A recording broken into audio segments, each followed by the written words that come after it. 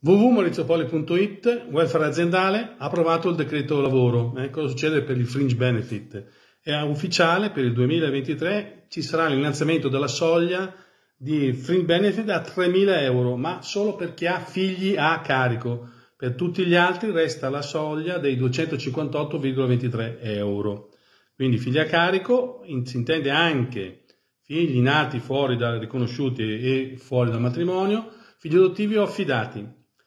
C'è l'aspetto che molti eh, imprenditori, datori di lavoro danno il bonus carburante. Il bonus carburante è un valore non superiore ai 200 euro per l'acquisto di carburanti per eh, autotrazione, non imponibili fiscalmente e deducibili per l'impresa. Ma attenzione, è fiscalmente esente, ma la legge di conversione del decreto ha previsto la novità dell'imponibilità ai fini previdenziali. Quindi bisogna prestare attenzione. Vi riporto qua l'articolo. Buon welfare a tutti.